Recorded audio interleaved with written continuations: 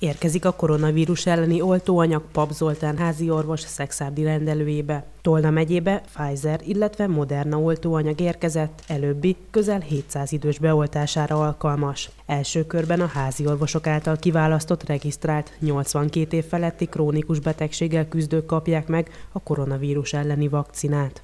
Jelenleg a Moderna oltóanyag érkezett, ez egy ampullát jelent. Egy ampullából tíz előre kiválasztott, szép korban lévő beteg kerül beoltásra. Ezeknek a betegeknek a listáját a hétfői nap 17 óráig kellett a kormányhivatal részére a házi orvosoknak megküldeni.